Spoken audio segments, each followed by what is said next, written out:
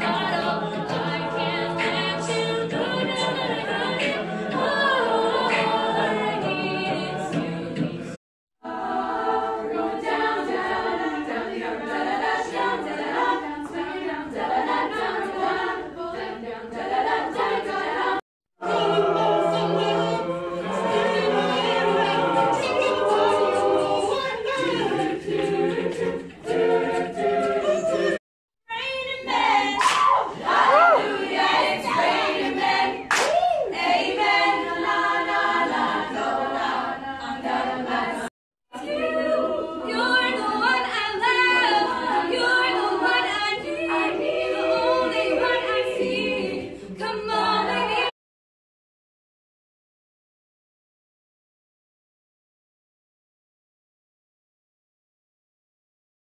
We